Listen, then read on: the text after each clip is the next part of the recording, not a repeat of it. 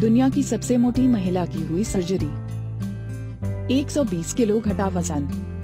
दुनिया की सबसे मोटी महिला ईमान अहमद की। मुंबई के सैफी हॉस्पिटल में सफल सर्जरी की गई। 450 किलो से ज़्यादा वज़न होने की वजह से भारतीय डॉक्टर ईमान की सर्जरी नहीं कर पा रहे थे। ईमान को जब भारत लाया गया था तो उनका वज़न करीब 500 किलो था। लेकिन करीब एक महीने में ईमान का वज़न अब 380 किलो के करीब रह गया है। डॉक्टरों के मुताबिक ईमान जब भारत आई थी तो उनका वज़न मास इंडेक्स की नॉर्मल यूनिट से दो गुना ज़्यादा था। भारत आने के बाद उनको फाइबर और प्रोटीन युक्त डाइट दी जाने लगी थी, जिसकी वजह से उनके वज़न में ये कमी आई। ईमान की बहन शाइमा अहमद ने मुताबिक बड़े वज़न की वजह से ईमान पिछले 25 सालों से अपने घर से नहीं निकली थी।